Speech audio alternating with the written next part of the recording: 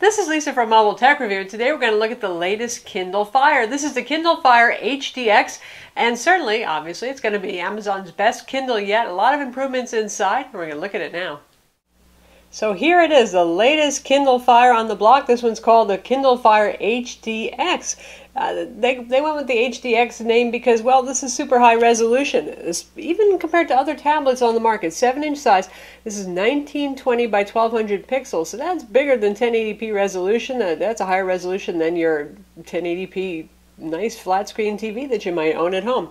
Of course, that is the same resolution as the Nexus 7, so it's not the only kit on the block to have that resolution, but it's nice to see, it, especially in something like a Kindle product, because, well, probably you're going to be doing a lot of reading on this. If you're going to buy a Kindle product, you're probably into the Amazon, Amazon ecosystem, their books, and also their Prime Instant videos, which we have showing right now. If you're watching video, you want a sharp picture too, don't you? This is the 7 inch model. There will be an 8.9 inch model, just like there was last year for the HD model. Uh, that one's going to be coming out mm, sometime by November, hopefully. Going to be a bit more money, but otherwise, looking at the same features, same CPU, that one will have an even higher 2560 by 1600 resolution, which matches the resolution on the 2014 edition Note 10.1 and the Nexus 10 tablets as well. But back to this guy right here. A lot of improvements under the hood. The operating system now gets a name. They actually call it Fire OS, and they they have improved it. You know, I always thought that this was kind of a half-baked thing, the, the way the Kindle Fire operated we used to have these giant icons that were very resolution ugly. We still have giant icons here, but now at least they're sharp, they're nice looking. You get a mix of content, your applications that you've used, any content you've looked at. For example, there's a record cover there of an album I've been playing. You get suggestions underneath because Amazon always loves to sell you things. Now, if you pick the web browser, it doesn't have any suggestions. That's Amazon's web browser. They call that Silk, as always. But you might want other search applications and location-based applications, so it's suggesting something there now. And then we have something that looks more familiar to people who are used to using Android and even iOS tablets. As you drag down, you get all of your application icons over here. So it's a bit more intuitive UI. It's also a lot faster. Kindle Fires have never been real fast navigating the UI. And I've always wondered if that was because they were not exactly using cutting-edge CPUs inside, or if it was the operating system. Well, now they've done a lot of changes to both, so it's hard to say who was ever to blame before, but this is finally something that's nice and zippy and fancy. We can switch between all of our tabs very quickly, get to our content, go back home over here, and go to books next. See, it's all real quick, and right now it's defaulting to showing me stuff on the cloud. As ever, Amazon has plenty of cloud services. Now, that doesn't just mean like you know, Dropbox style putting your files up there, though you can do that kind of thing too, but it means that they're hoping, of course, that you've bought a lot of content from them, a lot of books. So everything that you buy and haven't even downloaded will always show up as the cloud tab. And you can look at what's actually on device by tapping on device. You can go back and forth. So it makes it very easy to get stuff that you purchase with them or you put on your Amazon Cloud Drive. Like I have music up there and this is not stuff I've even purchased them. I've just put that up there. So all this stuff is actually on the cloud. I don't have anything I've transferred to the device. As it's telling me right here, go ahead use your USB cable and put some on there if you want. But that doesn't stop me from playing something.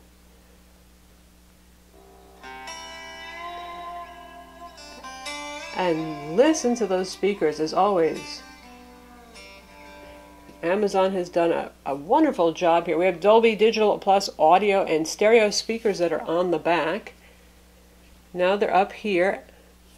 Pretty easy to see through the glossiness on the top bevel over here. And there is a bevel, so notice even if you put it on the table, it's not going to be flat against the table, the speakers, so your, your audio won't be muted, which is very good. So definitely some of the best audio you're going to hear on a tablet here, better than some notebooks in fact, and I expect the 8.9 inch will probably be a little bit louder given that it has a little bit more room for speakers, though who knows. Anyway, very good for watching movies. My test is always using my exercise Exercycle indoors, which is not the quietest machine in the world. And a lot of laptops I have to plug in external speakers. With the Kindle Fire HDX, I don't have to do that. It is loud enough, clear enough, and full enough that I can hear it. If We take a look at the back some more here. Soft touch finish, not immune to fingerprints, does get greasy. You can clean it up with a damp cloth just fine. So we have Amazon's usual unique unique sense of style here. It's kind of interesting. We got bevels all the way around, clearly because they wanted to have the bevel for the speaker so they wouldn't rest on the table and to make it easier to get to the back-facing controls here. This is our power button right here. On the opposite side, we have our volume controls right there. So when you're holding it, there's a little ridge. You can feel it. Now I have to say, these get the award for being some of the most tactile buttons ever. They really dip down. You can really feel them.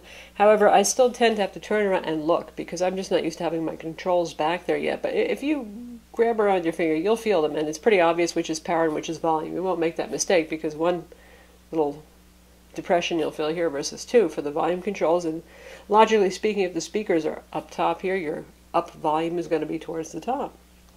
On the side here we have a micro USB port for charging and for copying stuff from your PC to the device. Just uses standard Android tra file transfer. And this is running Android Jelly Bean underneath that heavily, heavily customized operating system that you probably wouldn't even recognize as Android. Uh, it's a little weird because this has an up bevel. When you plug in the cable, it's going to stick up at an angle. Don't worry, your port's not bent. That's just the way it's designed. On the other side, we have our 3.5 millimeter combo audio jack, headphone, and microphone. And there's a front facing camera up top, 720p, and that is your video camera. And you can download Skype and install that if you want. To get to all of your settings, nothing too much has changed there. You swipe down, you can turn your auto rotation on and off, quick access to brightness. Very bright display, by the way. We have this turned up because we have a whole lot of ambient light in the room, but I think in most cases nobody's going to be running this in maximum brightness unless you're outdoors. Speaking of outdoors, speaking of glare, it does glare. You can see if I move it around. It's a glossy display. That's always one drawback when reading books. Some people might still prefer the Kindle Paperwhite if you just mostly read books because, well, it's a lot easier on the eyes and there's no glare. You can see we have quick control of our music playback over here. And here's Mayday. If we tap on that, this is not exactly instant, but pretty close. Within 15 seconds or so, you can get support online from Amazon folks, and it's one-way video chat. You can see them; they can't see you. Don't worry, and they can hear you. You can hear them. So if you're thinking about giving this to mom or grandma or grandpa, and they're really techno noobs, and you don't want them calling you all the time about how to use the fire, they can hit that Mayday button and bother somebody else. And if you need access to all settings, right here we have them. Amazon account. You can actually enter your Google account in here. There's contacts and calendar application. There's an email application. There is no Gmail application by default. Display sound keyboards. You can choose from different languages here, and we'll take a look at that in fact. Here we have our language selection. You can also choose keyboards and Bluetooth keyboard languages separately if you want. So you can see we have English UK, English US, French, Spanish, Italian, Japanese, Simplified Chinese, Portuguese, and German. So for those of you who are hoping to read books in other languages, for example, you can go ahead and do that. As always, we have our text-to-speak fe speech feature over here as well. And the rest of it, not as exciting. We do have parental controls here, and this has the kid mode. So if you want to give this to your kid and you don't want them mucking around on certain websites, reading certain books, or using certain applications, you can go ahead and do that. For those of you who are trying to decide between the similarly priced Nexus 7 2013 edition, here it is taller and narrower. As always, Amazon goes for a kind of wider feel, a bit more like a book kind of aspect ratio, so there's a difference. Both going to have the same resolution display. Uh, other than that, there's a whole lot that's different too. This runs obviously full Android over here, very vanilla Android. It doesn't have any, any customization whatsoever, certainly not like the Kindle Fire does. But that's a topic for another SmackDown. But just for those of you who want to see what the difference is physically, there it is. Like most every tablet on the market, the battery is sealed inside here. No removable door to access that battery. Amazon claims 11 hours of mixed use time and 17 hours if you're just reading. And pretty much that has been on target. We've been managing about 10 and a half hours of mixed use, including watching Amazon Prime videos, reading magazines, reading books, that sort of thing. So what's inside? It's pretty cool this time. Usually Amazon goes with something like a, you know, a I won't say a cut rate CPU, but one of last year's slower models. In this case, we have cutting edge stuff here. We have the 2.2 gigahertz Qualcomm Snapdragon 800 CPU with Adreno 330 graphics. Currently, that's about as fast as you're going to get. If Snapdragon 800 is up there competing with the Tegra 4 and Samsung's latest Exynos Octa CPUs, very fast. Adreno 330 graphics means you can play some nice games on this. And we hope that we see uh, some more killer 3D games on here. There's a whole lot of casual games on the Kindle App Store. And the, the killer 3D games, other than Gameloft titles, not so much. But expect that to change now. It has 2 gigs of RAM inside. Again, that's pretty much standard for a higher end tablet or smartphone these days, so that's plenty of RAM to run any programs that you want. It's available with 16, 32, or now 64 gigs of storage as well.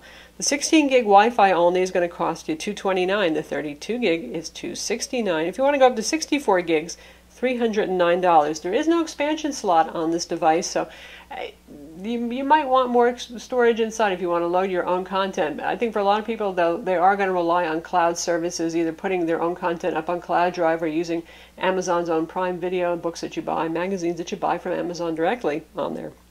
That's the with offers price, which means you're going to see an ad on the screen every time you wake it up, and which you can ignore, or you can get real excited about if you want. It's up to you turn it off and turn it on and there's your offer. So i was pushing a movie right now. You can you can either tap here to watch the trailer or if you don't want to see that you just slide the unlock. There actually is a link to offers up top so actually if you saw an offer something you were interested in buying you can tap over there and see. Sometimes they have coupons for example that are good on amazon that might be something you actually want or a book that's on sale or an accessory or something like that there will be Wi-Fi plus 4G LTE models. There's an AT&T model and a Verizon model, and that's going to add $100 to the price. Available all the same storage capacities, just add $100. So you're starting at 329 for example, going all the way up to 409 if you want the 4G LTE model. All of them have dual band Wi-Fi 802.11bgn with MIMO, so you get good Wi-Fi reception on these. We have Bluetooth on board as well, works for things like Bluetooth keyboards. As ever, this is a Kindle product. That means you don't get access to the Google Play Store in here. You do get access to Amazon's Kindle App Store. Obviously, the bookstore, the video store, the magazine store, the you name it, they sell everything store on Amazon. Uh, so for those of you who have a, a, big investment in Google Play applications that you've paid for, I don't mean the free ones because they'll probably be available to here. Like we have Evernote, you can get the Weather Channel, all sorts of things like that. But if you paid for a lot of applications, keep that in mind. Now, probably, I'm sure the clever folks out there are going to find a way to root this and then maybe get the Google Play Store in here. It's actually pretty easy to sneak some of the Google applications on here. You can see I've done that, and oh, shame on me, I've even side-loaded the Nook application, which works just fine on this, by the way. But I haven't gotten Google Play working so far. If you want to learn more about that, go to XDA Developers or AndroidCowboy.com. That, that fellow has done a lot of work towards getting some of the Google applications on here. But you can see that I've got Chrome, which doesn't come on here, just so you guys don't get confused. Google Play Music, Google Play Books, Google Play Magazines. I've side-loaded all of those.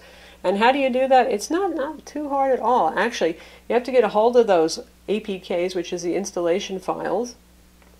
And then we go to applications, and then you see apps from unknown sources. Just turn that on so you can sideload programs. Then get yourself a file manager. And there's a couple of free ones available on the Kindle store, and you can use ES File Explorer. I use Andro File Explorer. Use a USB cable. You copy some of those APKs that you want to install find your SD card, which is just what it's called. It really doesn't have an SD card. And then look for the folder where you put it, like downloads would be a, a wise place to do it. And you just tap on one of those to run it and install it. And that's how you're going to get applications side-loaded on here. Gmail did not come on here either. I did add that along with Google Play services. Gmail works fine, by the way. That, that That's not a problem whatever, whatsoever. Google Play movies, books, all that stuff, that works so you can get content in those ways. It's just the Google Play Store for applications that right now you don't have access to, at least not without rooting. And in fact, here we are in Google Play Magazines right now. And there's a magazine that I've downloaded, so you can see it does actually work. So fun to have alternatives. Of course, you have access to all of Amazon's as well. And those are available up here under Newsstand. So anything you tap on, you can download and you can go ahead and read. And We'll start that one downloading. Magazines are actually a lot bigger than books, so that's going to take a while. Meanwhile, we'll take a look at books. And Stephen King's latest book. Beautiful screen. Has Whisper Sync as you Whisper Sync as you can see, so it can sync between Kindles. I also have a Kindle Paperwhite. I've been reading that book on the Paperwhite, and it knows that I've advanced my reading since I last used this device. So very fast, very nice white neutral pages, very clear sharp text. The super high resolution IPS display is just perfect for that.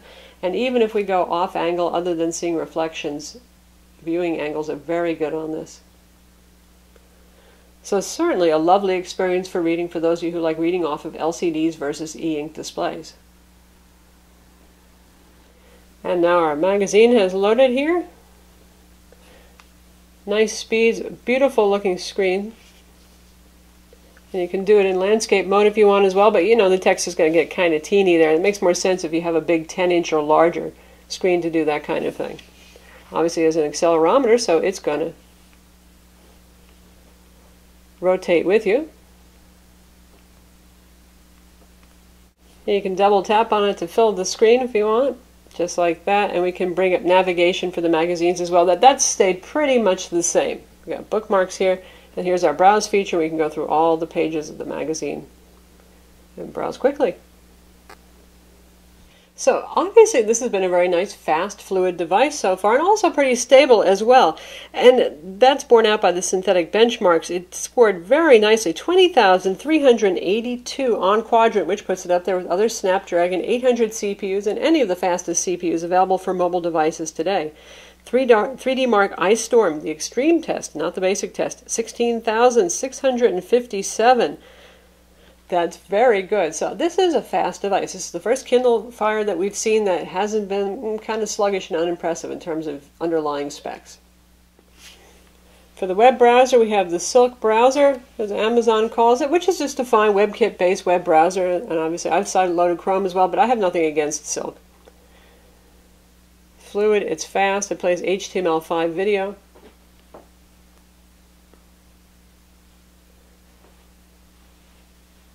And we'll look at a video, in fact, review of our Note 10.1 2014 edition. You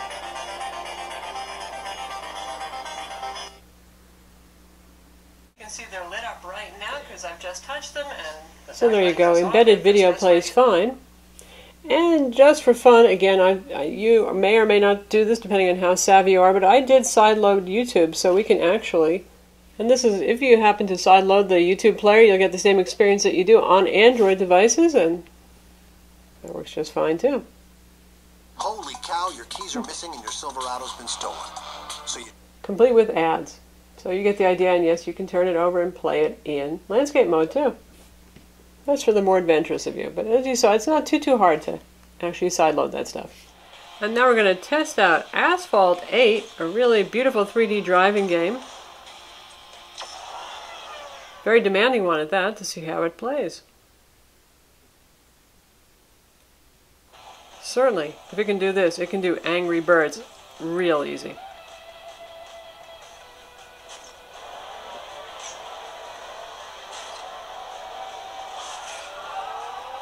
And is beautiful looking.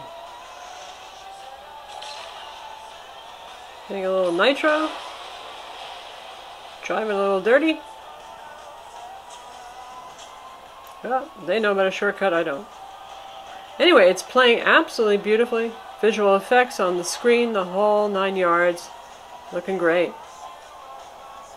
So that's Asphalt 8 on the Kindle Fire HDX 7-inch. So who's the Kindle Fire HDX 7-inch for, or for that matter 8.9-inch?